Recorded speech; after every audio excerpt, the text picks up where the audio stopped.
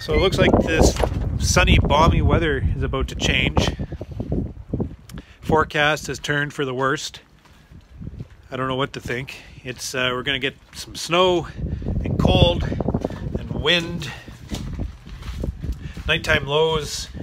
Uh, they're talking minus 10s, minus 12s, minus 15s, uh, an extended period of time. And I'm not sure if I can trust the forecast or not. They're talking about a foot of snow.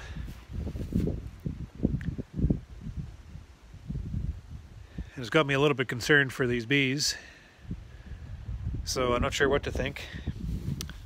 Other than I'm going to be moving my hives back into the winter shed just to get them out of this uh, forecasted cold weather.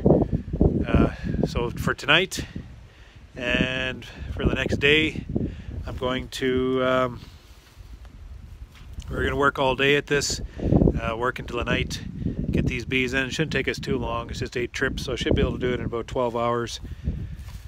They're all consolidated in the yard and we've called out all the dead, so I'll cut back on a half a load there. But uh, yeah, looks like they're all coming back in.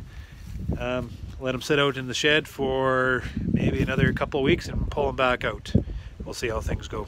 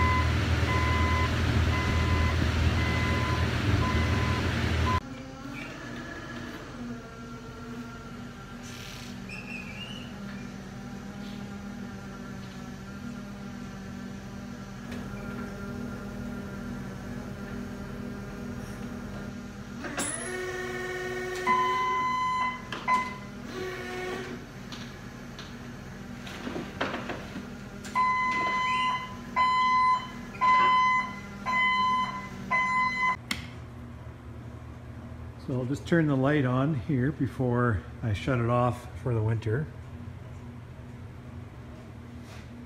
There she is. Everybody's inside.